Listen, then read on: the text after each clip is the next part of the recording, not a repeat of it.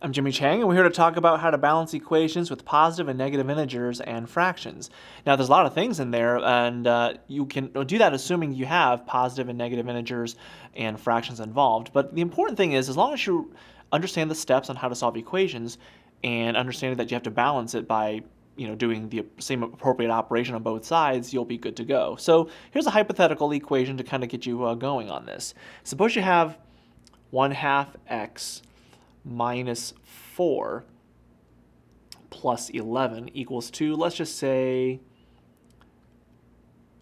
3 halves.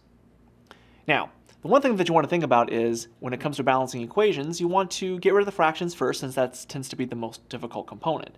So in this case, what you want to think about is to get rid of the fractions, you want to think about the least common denominator and then you want to clear the fraction out. In this case, the LCD is 2, so you're going to balance it by multiplying everything by 2.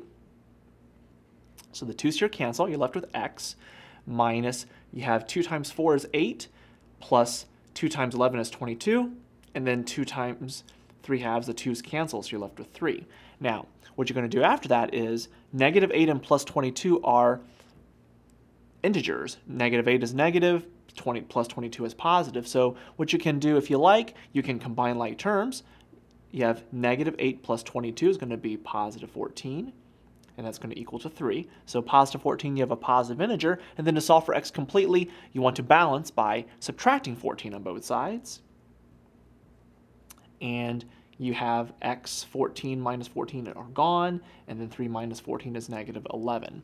So when it comes to solving equations, you can balance using positive and negative integers and fractions, but assuming that all of them are present to begin with. So I'm Jimmy Chang, and that's an illustration on how to balance equations using positive and negative integers and fractions.